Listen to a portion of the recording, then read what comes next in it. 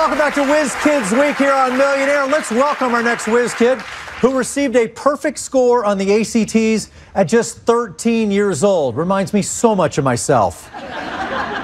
From Atlanta, Georgia, 14 year old Yash Kadadi.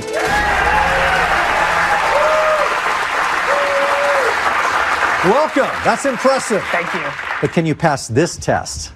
This is a not? big one. That's right. We're about to find out. 14 questions stand between you and that $1 million. You have your three lifelines, plus you have the extra cut the question this week. They are there if and when you need them. Let's get to your game. Let's go. Let's play. Who wants to be a millionaire? $500 question starts us off. Yes. Good luck. Here we go. Every 60 to 110 minutes, the geyser known as Old Faithful spews thousands of gallons of what into the air? Water, confetti, espresso, salad dressing. Okay, so I'm pretty sure that geysers uh, spew out water, so, and not confetti, salad dressing, or espresso. So I'm gonna have to go with A, water, final answer. You passed the first test. That's right. $500. Here's your second question. Where would you be most likely to practice your bumping, setting, and spiking? In a library? On a volleyball court? In a courtroom? On an alien spaceship? Okay, so I'm pretty sure bumping, setting, and spiking would upset like a lot of librarians. Uh, I'm gonna have to go with B, on a volleyball court, final answer. All things you do in volleyball, that's right. Two down. Here's your third question. The fittingly named butterfly Polygonia interrogationis has markings on the underside of its wings that resemble what type of punctuation? Exclamation points, question marks, semicolons, quotation marks. And so I see interrogate, so that's, I'm thinking that's gonna be like a question. And it says fittingly named, so I think that works too. So I think I'm gonna have to go B, question marks, final answer. That was the connection we were looking for. That's right. Good job. Here's your $3,000 question. In 2016, a New York Times review of the Angry Birds movie described the plot as non aeronautic feathered creatures getting around via what? Rocket ship, skateboard, catapult, subway. All right, so I've played Angry Birds before. It's a pretty fun game, and I know that uh, you have to use a catapult to uh, use to get the birds to like knock down the structures and take out the pigs or whatnot. So I'm gonna have to go with C, catapult. Final answer. Exactly. That's right. Well done. $3,000. That gets you to our $5,000 threshold question, which would guarantee you five grand. Here's the question. Bored math students may know that typing what number on a calculator spells out the name of a tech giant when flipped upside down. 5317 0.7734 376006 37816 3771. All right, so I see 376006, and when that's flipped around, that should be G O O G L E, and that spells Google, and Google is a tech company. I'm gonna have to go with C, 376006, final answer. We couldn't do that as kids because Google didn't exist. You got it right. Good job. Way to go. Five questions in, $5,000. We got a whiz kid on our hands. Stick around.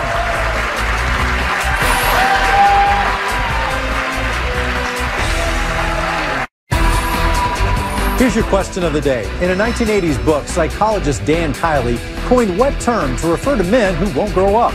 Peter Pan syndrome, Winnie the Pooh complex, Huck Finn phenomenon, or Don Quixote disorder? Answer to that question was Peter Pan syndrome.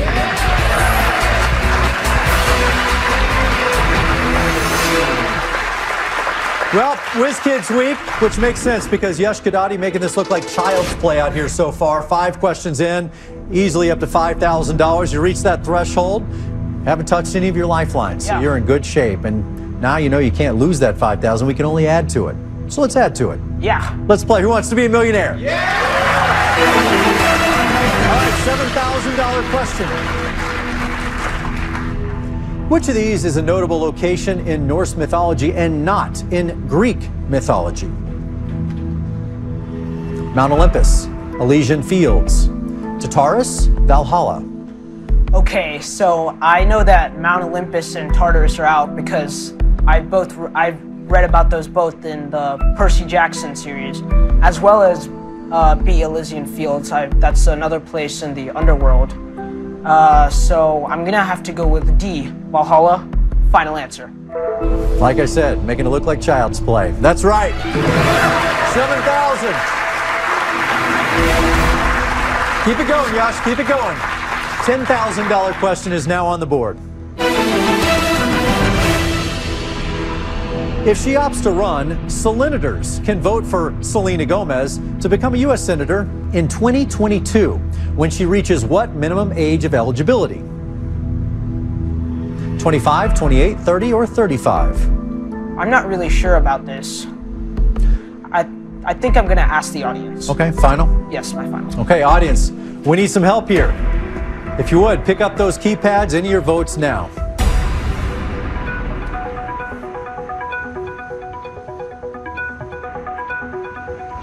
All right, Yash, let's take a look at the results. Oh, Well, not the crazy majority you were hoping for. 39% though, leaning towards B28. okay. I think the best course of action right now would be to cut the question. So I think that's gonna be my final answer. Okay, we'll get rid of it. Um, well, do you want to take a guess before we toss it in the trash? I probably would have gone with the audience with B. They were wrong. It was C, 30. So there you go. Few people applauded for themselves because they got it right. Selfish people. No. All right, good news is we're getting rid of that question. Here's your new $10,000 question. Showing tense or possibility, am, is, are, was, were, be, being, and been are among the words nicknamed what? Cooperative nouns, friendly adjectives, helping verbs, supportive exclamations. Okay, so the first thing that I was thinking before uh, it, the answer choices came up was linking verbs. And uh, helping verbs is pretty similar, but let me just uh, cross the rest of them out just to make sure. Take your time. So, am, is, are, was, these aren't really nouns because noun is like a person, place, or thing. Okay. Adjectives, no, it's still not. It's not really describing anything. And exclamations, no, I wouldn't use, I wouldn't be like, was, if I got something wrong. Or right, I don't know. So I'm gonna have to go with C, helping verbs. Final answer. Was! You got $10,000! Yeah, it doesn't work at all. $10,000. That sound means that time is up for today, but you're going to come back and play more Millionaire. Thanks for joining us here on Whiz Kids. For everyone who's been a part of this one, I'm Chris Harrison. We'll see you next time.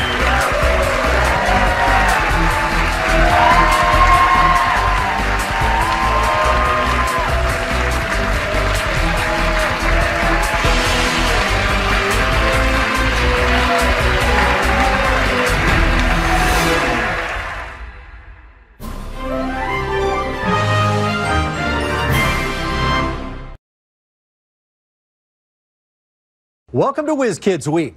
Today we've got some amazing questions and an equally amazing bunch of kids ready to answer them and take a shot at winning that million dollar prize. So let's play. Who wants to be a millionaire?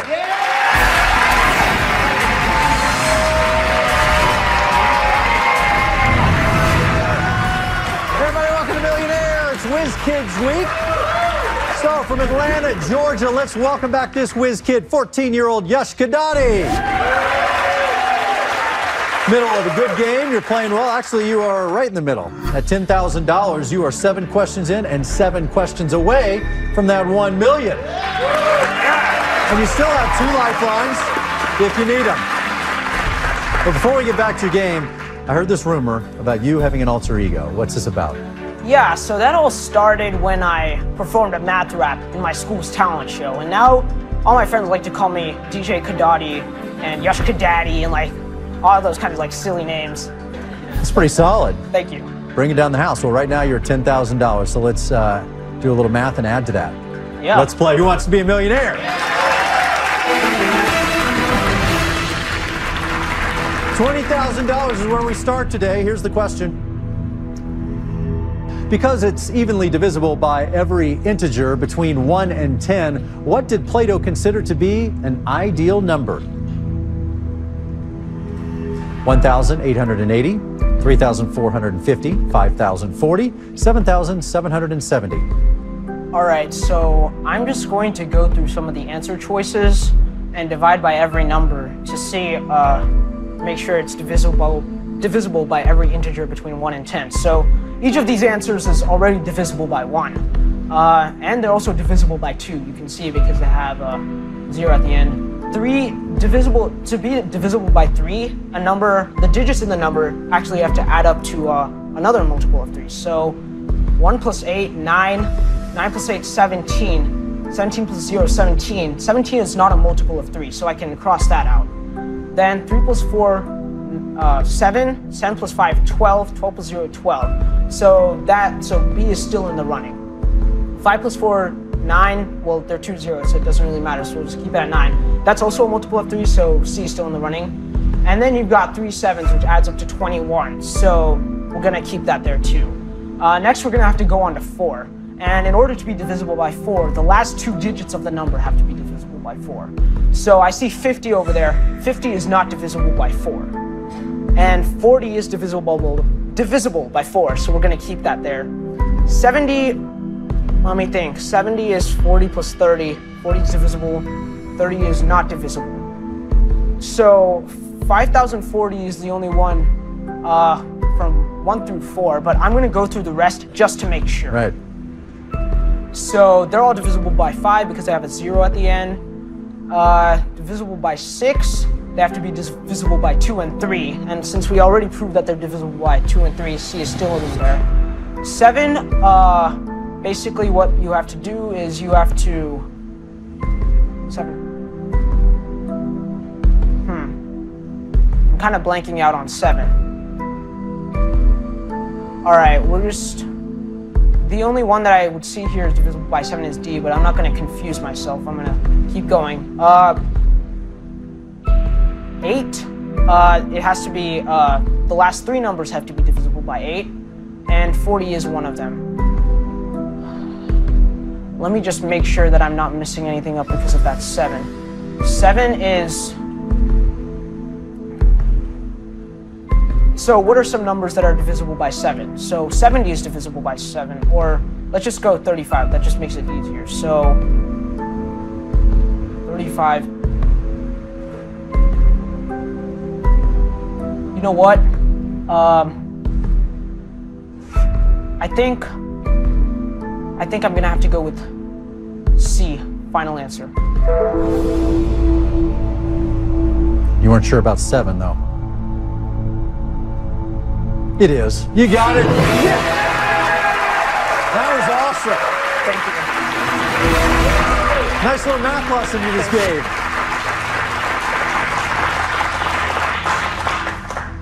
$20,000. Yeah. Not bad. Two away from that threshold, too. All right. Yep, two away from that 50,000 threshold. The next step is $30,000, and we're going to take that step when we come back. Oh. We're going to take a quick break. See how far this young man can go when we come back.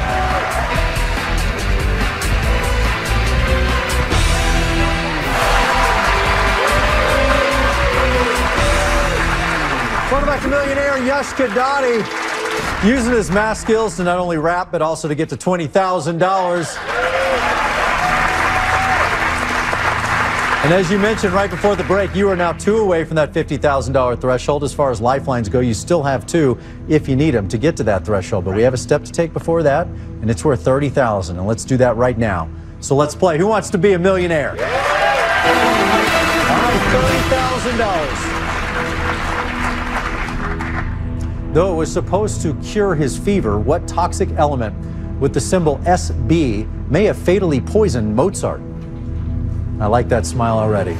Antimony, arsenic, bismuth, tungsten. All right, so I made sure to uh, uh, to dif differentiate between uh, this is slightly unrelated, but tin and antimony because they're very similar, SB and SN. I remember for sure that tin is SN, so SB has to be antimony. Let me just make sure though. So, fever, toxic element. Yeah, arsenic is poisonous, but it doesn't. It's not SB. Tungsten is W.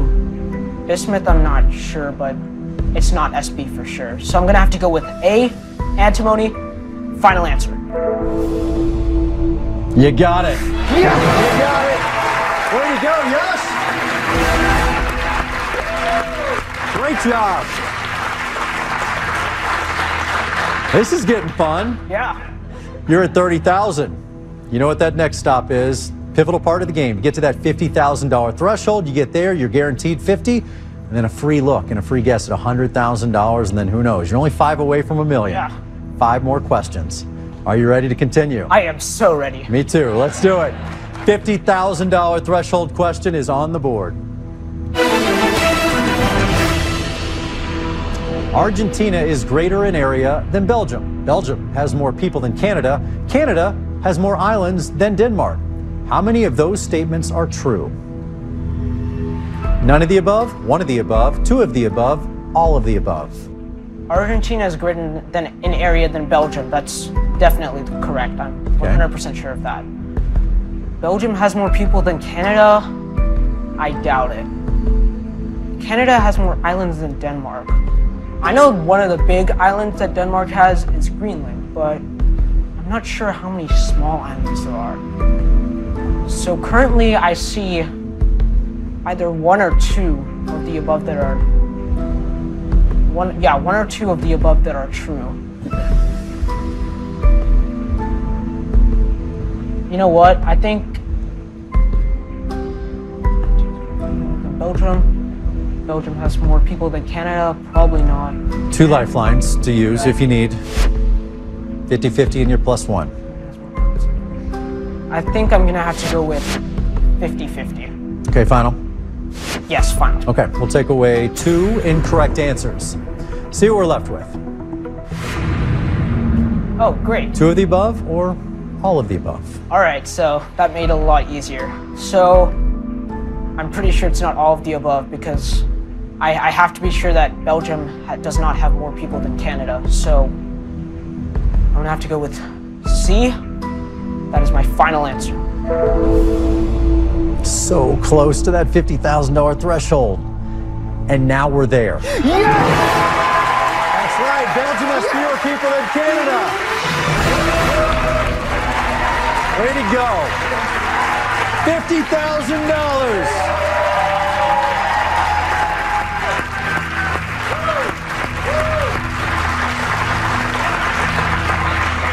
DJ Kadadi 50 grand, guaranteed. Can't lose that. All you can do is add to it. You are now four questions away from $1 million. And you still have a lifeline. You still have your plus one up there. Your dad is behind you if you need him. Chance to double your money here. And again, you can't lose anything. So you're going to take a shot at this. Yeah. Here it is $100,000 question.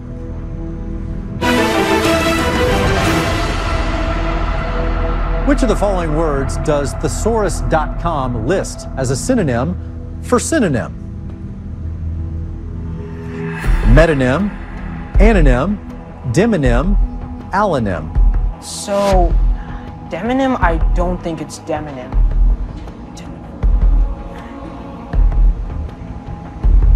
You know, my dad is pretty good with like, uh, like roots and like vocabulary, okay. so I think I'm going to use my dad plus one. Final? final. All right, let's bring him down here. Your dad. How you doing? Good, how are you? Well, having fun with this guy.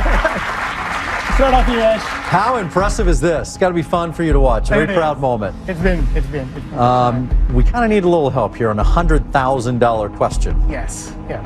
Any ideas? Uh, I've been thinking since I saw this question. Anonym, um, I'm going to guess, yes. I don't have an answer for this, so we are going to work through this. Okay. Anonym sounds more like antonym to me. That So- doesn't mean it's the same. It doesn't mean that it's a synonym for antonym. Uh, Correct. That's what I'm saying. So we are looking for a synonym for a synonym. So I'm going to eliminate B. Um, I think the main the main thing that we have to look at here is the first four letters of each word, or first, first three or four. Yeah. So I'm not sure what meadow is. Demo uh, sounds like people, like uh, Yeah. demographics, Demographics, democracy. So I don't think it's demonym because of that. Holonym, the first thing I think of is, oh, maybe. You know what? Okay, so a word that I thought of when I saw allonym was allotrope, which is a chemistry word. And do you know what allotrope means? It means that it's the same element, but it's in a different configuration. Okay. So, like, wh- what do you think meta means? meta, meta is like Meta means like- high level thing, right? It's like metadata. Yeah. Um, but metamorphosis also kind of I'm not, I'm not sure about metamorphosis. it's not metamorphosis. We just have to think of other words that have the same kind of root and then try to see how they relate to Right. other words. Or met, I don't know. Meta is definitely a high level thing. Yeah. And then, So it is not the same as synonym. yeah. It is it is something different. Um, I think I'm leaning towards D. D. We ruled out B. We ruled out C. Yeah. Right.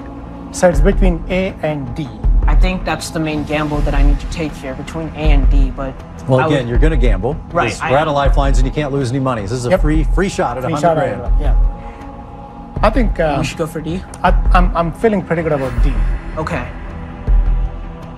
I'm gonna have to go with D. Allonym. That is my final answer.